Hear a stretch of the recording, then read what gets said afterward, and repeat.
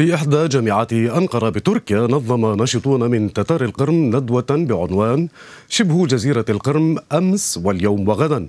وذلك إحياء للذكرى الخامسة والسبعين لمأساة الترحيل القسري لشعب تتار القرم في عام 1944 والإبادة الجماعية التي تعرض لها السكان الأصليون في شبه الجزيرة.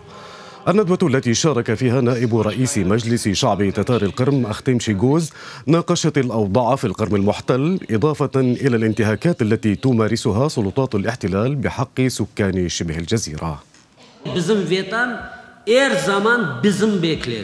الوطن انتظرنا لوقت طويل فبعد خمسين عاما من التضحية بالدم ورغم الضحايا الذين سقطوا ورغم الممتلكات في أوزبكستان عدنا إلى وطننا. بمجرد أن وطأت أقدامنا أرض الوطن شعرنا وكأننا ولدنا من جديد. وبعد مرور 25 عاما بعد أن استطعنا الوقوف على أقدامنا وبدأنا بتنظيم حياتنا في وطننا أطلت علينا مأساة جديدة.